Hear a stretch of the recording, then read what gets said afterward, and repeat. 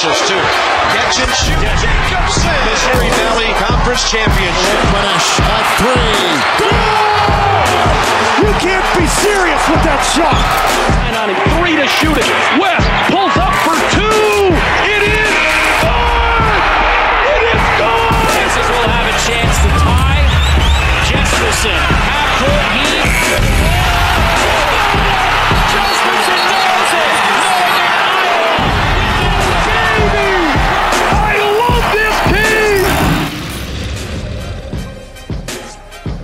Preseason attention for the 2019-2020 UNI men's basketball team fired up in October.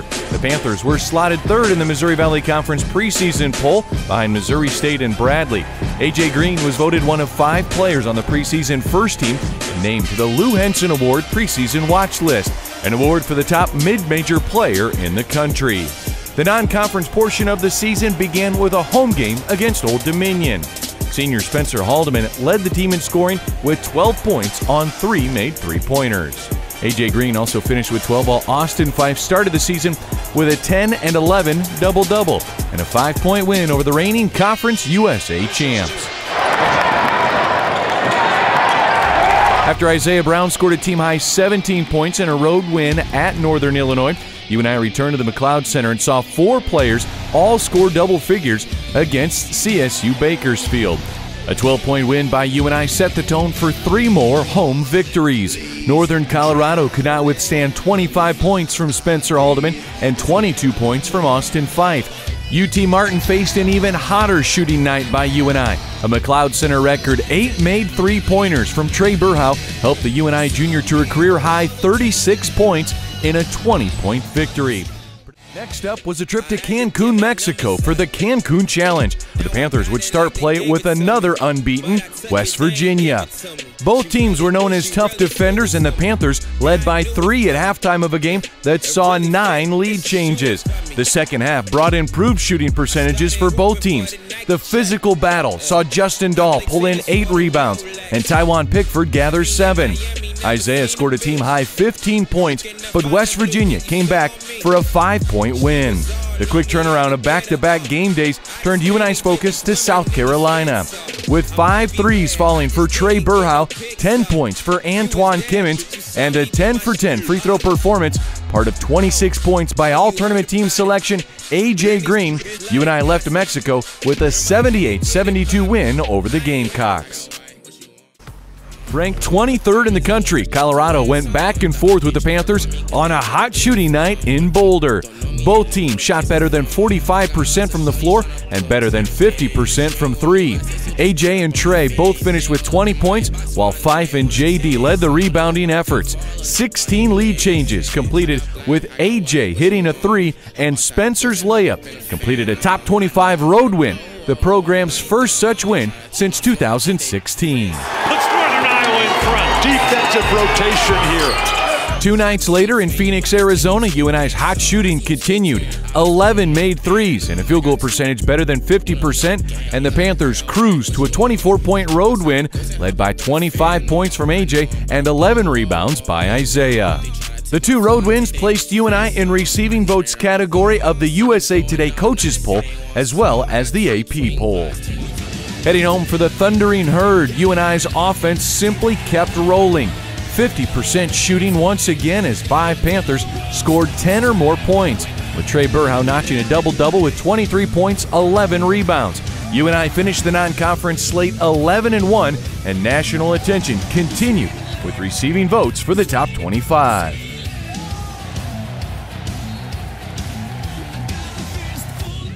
Missouri Valley Conference play began on New Year's Eve. Despite being picked to finish third in the Valley, the UNI Panthers earned a target on their back after the strong non conference showing. The conference opener inside Redbird Arena was proof that UNI would get everyone's best shot. After UNI led by 15, Illinois State used a 63% shooting effort in the second half, including a 6 for 8 performance from outside to top the Panthers in the MVC opener. And now Green shoots for the tie, and he just nailed it. A three ball. Next up, a rematch of the 2019 MVC tournament title game UNI versus Bradley. Tywhon Pickford made his first start of the season as Spencer was out with injury, and Ty delivered 16 rebounds to go along with five points, gave I an extra boost on the boards, and AJ Green put up a career high 35 points as he made seven threes. The Panthers put up a 69 64 win in front of nearly 5,000 fans. Back to back home games brought Indiana State to Cedar Falls. UNI's defense was on point as Isaiah Brown and company kept one of the Valley's leading scorers, Tyreke Key, in check all night long. The Panthers' offense made just three threes, but UNI shot over 50% and won the rebounding battle thanks to 13 points, 12 rebounds from five. UNI hit the road for a game at Missouri State, and they regained their non conference stroke in Springfield. UNI made 13 threes, shot better than 50%, and saw AJ score 28 as UNI won by 23 points over the Bears. A wide open, long downtown three pointer. Back home for a game against Valparaiso, and the Crusaders had a strong first half, leading by six at the break, but a 17 0 run by the Panthers turned the tables. As a team, UNI was 7 for 10 from downtown in the second half, as four Panthers scored 15 or more points and won 88 78 in the McLeod Center. That led to the return game against the Bradley Braves, this time in Peoria. A nationally televised game on ESPN2 saw a game of runs as UNI led by 11 in the first half before Bradley cut it to two points at the break. Then a second half breakaway as UNI shot better than 50% in the second half, including seven made threes. Four of the five starters hit double figure scoring in the 86 71 road win to push UNI's conference mark to 5 and 1 and a 16 and 2 record in mid January. Despite a double double from Phyfe and 22 points from Trae, trailing by 16, UNI pulled within one, but a second conference road loss came at the hands of Southern Illinois. In the loss, a new UNI record 44 consecutive made free throws was completed by AJ Green. Counting down, three point field goal, good. Up next was a battle for first place in the MVC. UNI hosting Loyola, a game that lived up to all the hype. Hot shooting by both teams in the first half included the spark from Antwan Kimmons. Seven first half points, including a swipe and score, went with a second half coast to coast finish as the freshman tied his career high with 13 points. But Loyola rallied late and forced an overtime period.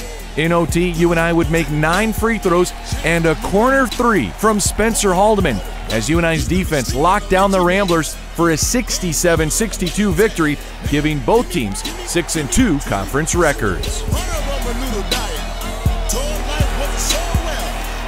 UNI took that level of play into their game against Missouri State. Slamming on the throttle from jump, UNI made their first five shots, scored 51 by halftime. At the final horn, all five starters scored 12 or more, led by 27 from Green, while Phyfe went 7 for 7 in the game. Isaiah Brown put up 16 points to go along with a career high 9 assists that tied the McLeod Center record. UNI was 7 and 2 halfway through MVC play. After two home wins, it was time for two on the road. First, a Saturday at Evansville. Austin Phyfe led the scoring with 16 points, but bench points from Justin Dahl and Noah Carter, eight apiece, and five from Kimmons, If gave UNI a 14 point lead at halftime and scored 50 in the second half for an 80 68 victory. Another strong opening half by the Panthers came at Valparaiso. UNI made six threes in the first half and rode a Phyfe double double to the 20th win of the season. The victory moved Coach Jacobson into fourth in the Valley's all time victories list at 286. It gave UNI its first 20 win season since the 2016 NCAA tournament team. UNI took its 20 and 3 record and 9 and 2 MVC mark back home for a challenge from in-state foe Drake. A sold-out McLeod Center and a Sweet 16 banner game brought all the feelings of magical seasons back to the Panther faithful. An 8 0 start to the game, thanks to Drake shooting out of its mind 64% in the first half. But thanks to deep threes, UNI trimmed the Bulldog lead to four points by halftime. The second half belonged to sophomore guard A.J. Green. 21 of his game high 34 points came in the last 20 minutes. AJ was 8 for 11 shooting in the second half and made six threes in the game. UNI pulled away with a 10 point win thanks to a dominant second half in front of over 6,400 fans. A home game against Illinois State was a chance to avenge the loss from the conference opener. AJ hit the 1,000 career points mark, leading the team with 27 points. Trae Berhow would deliver his second double double of the season 17 points, 11 rebounds. UNI secured its sixth straight win, topping the Redbirds 71 63. Back on the road and back onto the national spotlight with a game in Chicago on ESPN2 for the rematch with Loyola. The Ramblers ran out to a 16 point lead in the first half, but UNI trimmed it to five by halftime, with Phyfe securing 10 rebounds in the first half alone. Isaiah poured in 11 huge second half points and kept the Panthers' hopes alive. Then a big basket from Berhow in the final minute made a three point game of it, and AJ knocked in the game time triple that forced overtime. UNI shot just 1 for 12 in OT as Loyola handed UNI just its fourth loss of the year. Phyfe finished with a 12 point, 17 rebound, 7 assist effort. UNI dropped back to back games just once all season as UNI played at Indiana State next. Hot shooting from the home team and the opposite from the road team put the Sycamores up 17 at halftime. Despite flipping the script in the second half, Indiana State held on for a three point victory. Returning home, UNI tried to keep the McLeod Center magic rolling on a Sunday afternoon, Senior Day. Lincoln Conrey, Justin Dahl, Isaiah Brown, Spencer Haldeman, and Luke McDonald were all honored ahead of the battle with Southern Illinois. A 13 point UNI lead turned into an 8 point Saluki lead at halftime. UNI put together their own run, a 20 to nothing run in the second half to grab a 12 point win. Austin Phyfe delivered a 17 point, 18 rebound outing in the victory. The final home game was a trouncing of Evansville. The 20 point victory included red hot shooting all game for UNI, capped by a corner three from senior Lincoln Conrey in the final home game for all five seniors. The win clinched a share of the program's first MVC regular season title since 2010, while clinching the top seed at the MVC tournament. It also completed UNI's home schedule with a 16 0 McLeod Center record. It's just the third unbeaten home mark for UNI since the McLeod Center was built. The finale of the regular season was the third ESPN2 showcase and a rematch with in state rival Drake after a classic in Cedar Falls. Round two would not be as close. UNI's defense smothered the Bulldogs, allowing just 18 first half points. The second was even stronger for UNI, outscoring Drake 40 to 25 en route to a 70-43 drubbing.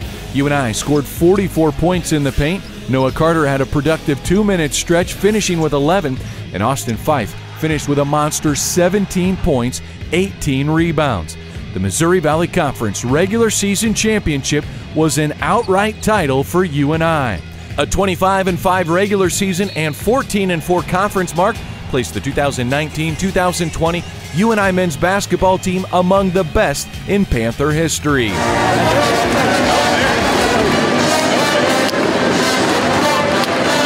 Season we not share with nobody. It's all us, baby. Yes, sir.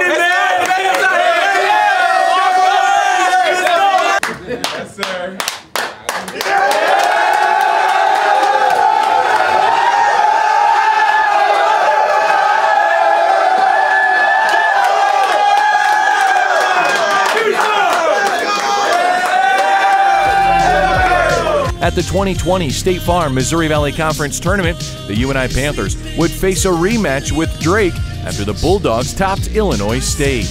The opening game of Friday's quarterfinal round saw Drake start hot and open up a 17 point lead before UNI pulled within 10 points at halftime. Baskets from Green, Brown, Haldeman, and Pickford kept UNI close. In the second half, scoring from Phyfe, Green, and Haldeman pulled UNI within two points right at the start of the second half. At 48 50, Drake delivered an 18 0 run to pull away and eliminate the top seeded Panthers from the MVC tournament. The Panthers did leave St. Louis with the regular season trophy and some individual awards. Justin Dahl earned an honorable mention Scholar Athlete Award as a business analytics major. Trae Berhow was named the MVC Most Improved Team as one of the top three point shooters in the Valley. Isaiah Brown was named the MVC Defensive Player of the Year, leading the way for UNI taking the top defensive assignment night in and night out, and is just the second UNI Panther to win the award. Austin Phyfe was named to the All MVC first team, having led the league in rebounds per game and field goal percentage. He was also on the first team All Scholar Athlete team. AJ Green was also a first team honoree and named the Larry Bird MVC Player of the Year after leading the Valley with over 21 points per game. He's UNI's fourth MVC Player of the Year winner. AJ also garnered the MVC Scholar Athlete of the Year award. Coach Ben Jacobson was named the MVC Coach of the Year, the fourth of his career, which ties him for the most Coach of the Year honors in Missouri Valley Conference history. NCAA tournament buzz was firing up as ESPN's Joe Lunardi projected UNI from a 9 to an 11 seed, while NCAA's Andy Katz had UNI a 10 seed in his March 3rd projection mid-range seed team. This will be the lowest seeded team of any of these we've talked about. Northern Iowa, excellent on offense, a top three three-point shooting team. They have four guys make 40%, all made at least 35 threes. AJ Green's the best. That was Spencer Haldeman from the corner. But this is what they do really well. Austin Phyfe and company, they limit you to one shot. You better make your shot because you're not getting a second one. And if they sneak to that nine line and they win their first game, Baylor is vulnerable to Northern.